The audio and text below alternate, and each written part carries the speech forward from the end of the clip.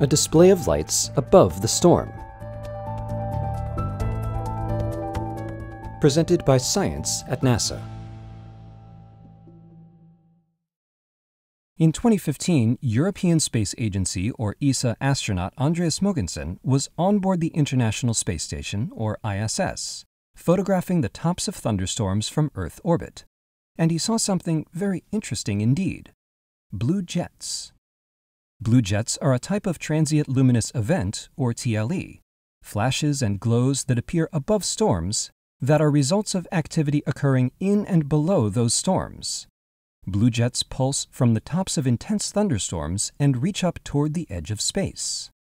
In January 2017, researchers at Denmark's National Space Institute published their analysis of his observations in Geophysical Research Letters. Mogensen was able to capture clear video as the station flew over the Bay of Bengal, and they were amazed by what that video showed. Olivier Chanrion, lead author of the publication, reported that during 160 seconds of video footage, 245 pulsating blue discharges were observed, corresponding to a rate of about 90 per minute. One of the blue jets observed reached 25 miles or 40 kilometers above sea level. Visual evidence of TLEs wasn't available until 1989. Early evidence included red sprites photographed by cameras on board the space shuttle and photographs taken during a NASA and University of Alaska airborne campaign. Red sprites are glows in the upper atmosphere tied to the presence of large lightning flashes, but not attached to the clouds themselves. In recent years, the ISS has afforded astronauts the opportunity to photograph a number of natural light shows produced at the tops of thunderstorms. A 2013 study by researchers from the French Alternative Energies and Atomic Energy Commission analyzed pictures from the NASA Crew Earth Observations Facility aboard the station. The pictures revealed 15 sprites and their apparent lightning flashes. In August 2015, the Expedition 44 crew on board the station photographed red sprites over two different storms within three minutes of one another. First over the American Midwest, and then near the coast of El Salvador. These sprites reached as high as 62 miles or 100 kilometers above the surface of the Earth.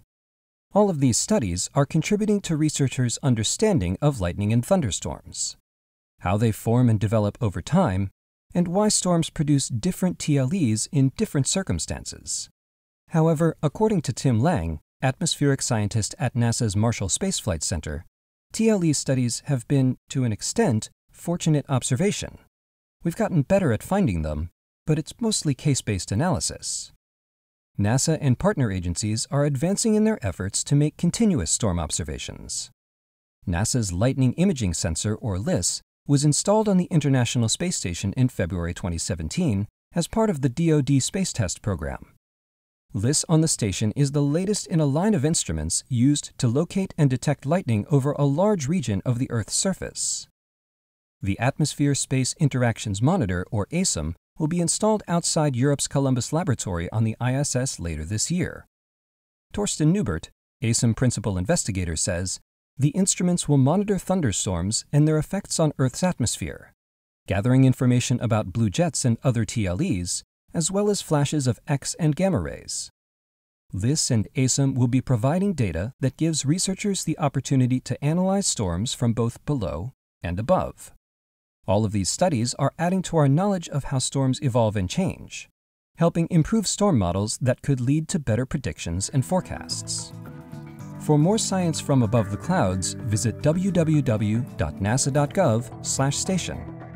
For electrifying updates, stay tuned to science.nasa.gov.